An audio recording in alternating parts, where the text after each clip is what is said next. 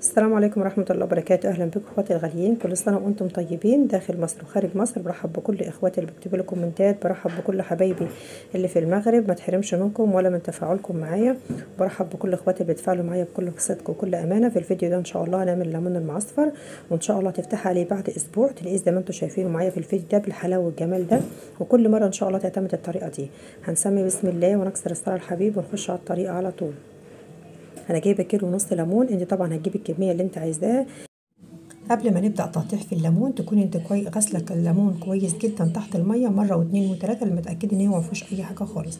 هتجيبي السكينة وتبداي أنت تقطعي في الليمون كده نصين أو أربع ارباع بالشكل ده زي ما أنتم شايفين. آه سواء قطعتيه أربع ارباع أو نصين هي النتيجة واحدة في الآخر. فاللي أنت حابة إن أنت تعمليه ما فيش أي مشكلة خالص هنقطعه بالشكل ده كده. بس طبعا هو اللي أربع ارباع يعني الشكل المعتاد في الليمون المعصفر بتاعنا. بس أنا قطعته كده وقطعته كده. فاللي يريحك والأفضل لك والأسرع لك اعمليه بالشكل ده زي ما أنتم شايفين. وفي الاثناء ديت كده وأنا بقطع الليمون كنت مجهزة معايا حلة مليانة مية على النار وعلى ما خلصت تقطيع الليمون هتبدأ المية إن هي تبدأ تغلي معايا هنزل بكمية الليمون. وما يهمكيش لو الليمون لقيتيه أخضر في السوق ما يهمكيش. مجرد ما تنزليه في المية هيبدأ إن هو ياخد معاكي اللون الأصفر زي ما هتشوفوه معايا دلوقتي. نيجي بقى للخطوة اللي بعد كده. إحنا هنسيبه في المية حوالي عشر دقايق مش أكتر من كده من 8 ل 10 دقايق مش أكتر من كده. إحنا مش عايزينه ياخد السوا الكامل زي الليمون المسلوق اللي انت بتسلقيه وتحطيه في البرطمان. إحنا هنسيبه بس ياخد حوالي 3 4 غلوات ونطلعه على طول يبقى يكون 3 ارباع سوا نيجي بعد كده هنجهز الخلطة معانا اللي هنحشي بيها الليمون معايا عصفر وحبة البركة وهنحط نسبة الملح اللي إحنا محتاجينها لحسب كمية الليمون. طبعا انت بتجيب العصفر ده من عند أي عطار هتقول له عايزة عصفر الليمون وهتجيبي حبة البركة. سواء هحط لك حبة البركة على العصفر أو أنت جبتيها لوحدها إن أنت ما تكتريش. يعني أنت هتحطي كمية العصفر اللي أنت عايزاها. ده كويس بيدي الليمون اللون الأصفر الجميل اللي أنتوا بتشوفوه معايا. أما حبة البركة تكون معلقتين أو معلقة كبيرة هرميه كده مش أكتر من كده. علشان الليمون لو قعد معاكي فترة طويلة أو أنت عاملة كمية أكبر من الليمون وسبتيها فترة طويلة ما تلاقيهاش اسودت معاكي. ما تلاقيش الليمون أخد اللون الأسمر معاكي ويبقى شكله وحش وما حابة أكله وهترميه على طول. شايفين الليمون أخد معايا اللون الأصفر بدأ إن هو المية تغلي معايا بالليمون. يدوب خلوتين ثلاثة بالكتير وهطفي عليه النار. طيب لو انت لسه مبتدئه في المطبخ وما تعرفيش إمتى وصل المرحلة اللي أنت هتطفي عليه النار هتمسكي ليمونة كده بين إيديكي وتضغطي عليها الاقيها طرت معاكي إلى حد ما هتسيبيه خلاص وهتطفي عليه النار وهتمسكيه تصفيه وهتشيليه من على النار على طول. بالشكل ده كده أنا دلوقتي هاخده أصفيه. بالشكل ده كده بعد ما صفيته في المصفى هنزل أي نسبة مية فيه بالشكل ده وطبعا مية سليق الليمون مش هنرميها. إحنا لسه هناخد منها مية نسود بيها البرطمان وهنليها استخدامات كتيرة جدا هنستعملها. ممكن تستخدميها في غسيل الأحواض تعملي بها صابون مواعين زي اللي عملناه وانزلها قبل كده على القناة. لها استخدامات كتيرة جدا. بتخلي السلستين يبرق ويلمع كده ما شاء الله.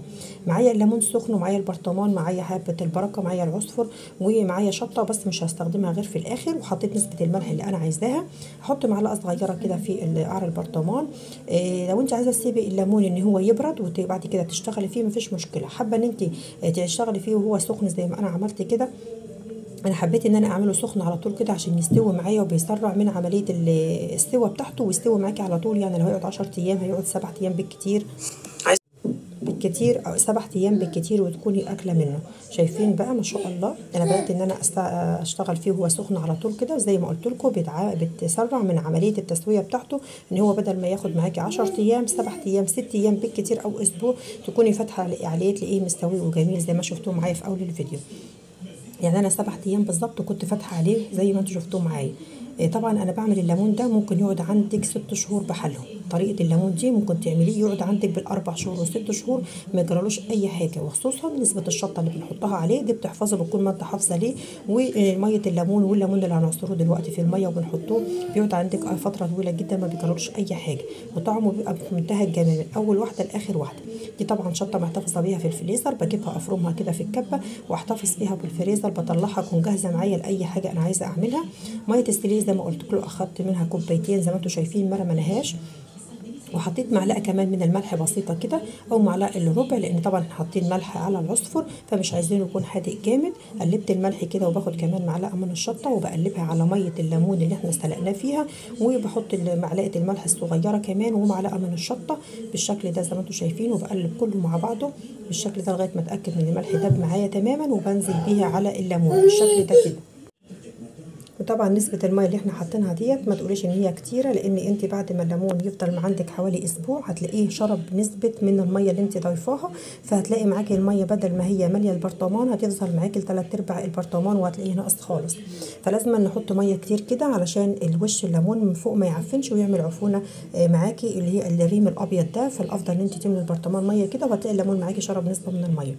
آه، تاني حاجة ده قشر الليمون اللي أنا عصرته. أنا كنت عصرة حوالي ست ليمونات كده في مية الستيليه بتاع الليمون وخدت القشر حطيته على وش البرطمان وبعد كده حطيت عليه حوالي معلقتين من الزيت. هسيبه بقى لمدة أسبوع مش هفتح عليه ولا أجي يمته خالص حوالي سبعة أيام أو تمن أيام بالكتير وهنفتح عليه هنلاقيه بالشكل الجميل دوت. شايفين بقى الحلاوة والجمال الشطة مع الليمون مع حاجة مع معلقتين الزيت اللي أنا ضفتهم على الوش ده ما يخليش معاكي الليمون أو أي مخللات عامة إن هي تبوظ معاكي.